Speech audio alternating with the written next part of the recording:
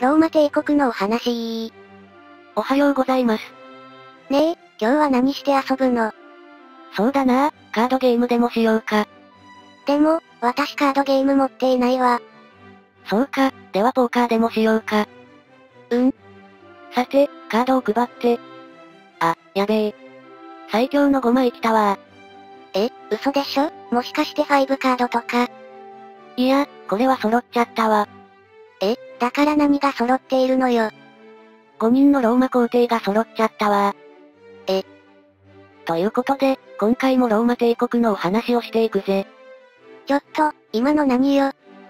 前回は、ネルーア、アントニヌス超最後の皇帝である、コンモブスのお話だったな。父アウレリウスからマルコマンに戦争を引き継ぎ、交渉と奮闘の末、年内に戦争を終結させた。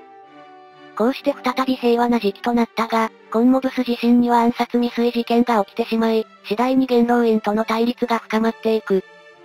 民衆と軍のために、慈善活動や対外的平和の維持などに努めて人気のあったコンモブスだったが、重臣を処刑する計画が露呈。こうして危機を募らせた重臣によって、コンモブスは殺害されてしまったのであった。そうね、なんというか平和の終わりが虚しいわね。そして、ポーカーの続きなのだけれど、ここに5人の皇帝が揃っちゃったんだよねあ、そうそう、その意味がわからないんだけれど。コンモブスが亡くなったのが192年12月31日、次の皇帝が193年1月1日に即位するのだけれど、この193年には5人の皇帝が登場する。え、たった1年で5人。そう、以前にもあっただろう、4皇帝の年、っていうのが。69年にガルバ、オトー、ウィテッピウス、ウェスパシアヌスという4人の皇帝が誕生したことからそう言われていたな。ああ、そんなこともあったね今回は5人なので、193年は5皇帝の年、と言われる。一人増えたわね。そう、今回はそんな5人の皇帝が現れた5皇帝の年、について物語を見ていこう。なんか、せわしくなりそうな予感ね。192年12月31日、コンモブスは重臣によって殺害された。次の皇帝はすでに決まっていた。前回、名前だけ出ていたけれど覚えているかな？え、わかんないよコンモブスの友人クレアンデルに対する民衆の暴動があった時に、その鎮圧に走った首都長官ペルティナクス、だよ。ペルティナクスは、コンモブス暗殺にも関与しており、実行犯の一人、この長官ライプスを支持していた。コンモブスを暗殺したら、ペルティナクスを新たな皇帝として迎えるように密約を交わしていたのだな。事前に決めていたから、引き継ぎでごちゃごちゃすることがなかったのね。まあ、この後ごちゃごちゃするがな。こうして第18代ローマ皇帝、ペルティナクスが誕生。そんなペルティナクスだが、生まれは126年だ。っていうことは、ハドリアヌスの治世だな。解放された奴隷の出身で、最初は習字法を学んで教師となっていったそうだ。習字法、スピーチをしたり、文章を書いたりする際、様々な表現を使う技術のことだな。統治法とか反復表現とか、そういう普段使われているようなものも含む。そういった技法だな。習字法の教師となったペルティナクスだが、なんかやりがいがねえなということで転職。こうしてペルティナクスはローマ帝国の軍に入った。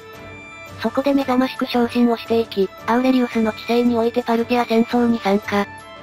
その後、ダキア総督を経て、マルコマンに戦争でも活躍。175年にはコンスルとなり、その後もシリアやモエシアの属州総督を務めた。解放奴隷からここまでのし上がるなんてすごい力ね。コンモブス治世では、このエ長官ペレンニスと対立していたが、クレアンデルのおかげでペレンニスは処刑になった。こうして対立する者がいなくなり、ペルティナクスはブリタニア属州総督になった。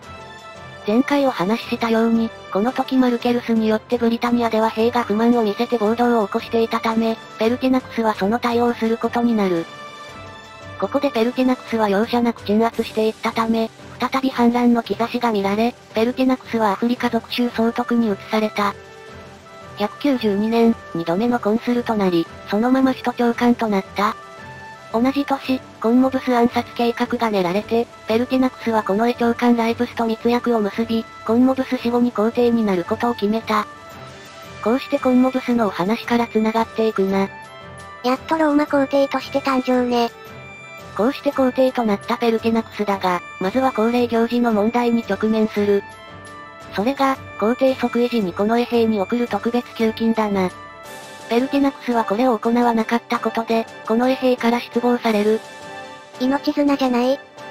まあ、一応コンモブスの財産を没収して、そのお金に回していったそうだがな。それでも支持を失っており、この絵長官ライプスからも支持を失っていく。さらに、アウレリウスの禁欲的な統治を目指すという大きな変革を行おうとしたため、元老院からも嫌われていくことになった。え、一体ペルティナクスを誰が支持しているのだろうか？全然支持されなかったため、早々に暗殺未遂事件が起こる。さらに、緊縮政策によって、この衛兵への給料を下げていったため、この衛兵は激おこぷんぷん丸。193年3月、約300人のこの衛隊が宮廷に集結。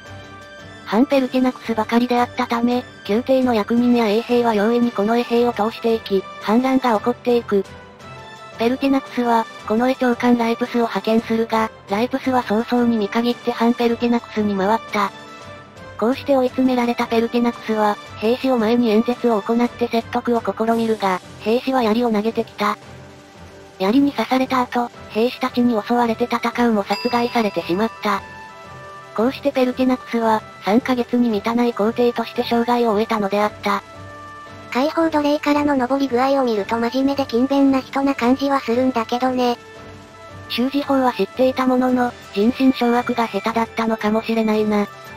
皇帝じゃなくて、多分軍の司令官とかのレベルで活躍していた方が合っていたのかもな。まあ、5皇帝の年最初の皇帝ペルティナクスは、こんな感じだ。さて、ペルティナクスが亡くなってからだが、ペルティナクスによって不安定な雰囲気になっていた。元老院が適当な皇帝を決めることができない中、この得体が動き出した。ペルティナクスがこの得体の特別給金を渋ったり、給料を減らしたりしたことから、この衛兵たちは給料を保証してくれる人に皇帝の座を上げる。いわゆる、定位オークションが開催された。ええー、ちょっと、皇帝を金で決めようっていうの？そういうことだ、もうこの衛兵は金しか頭にないからな。こうしてオークションが行われた結果、すべてのこの衛兵に2万5000セルティウスを支払うと宣言したディディウス、ユリアヌスが帝位を落札した何盛り上がってんのよ。こうしてこの衛兵は元老院を脅しまくって、ディディウス、ユリアヌスを皇帝として認めさせた。皇帝ディディウス、ユリアヌスの誕生である。なんか盛り上がらないわね。そんなディディウス、ユリアヌスだが、133年に生まれた。父はメーカセウェルスケ当主、母は上流貴族出身という金持ちっ子であった。若い時に、アウレリウスの母ドミティアの力を得て昇格していき、マンリア、スカンティッラという女性と結婚。162年にホームカン、170年からガリア、ベルギ家族州総督を務めた。コンモブス治世において、ペルティナクスがアフリカ属州総督から首都長官に変わると、ユリアヌスはアフリカ属州総督となった。後を追うような感じね。192年、コンモブスが没すると、ペルティナクスが皇帝になった。しかし、3ヶ月と経たずにこの得体によって殺害され、帝位はこの得体によるオークションにかけられた。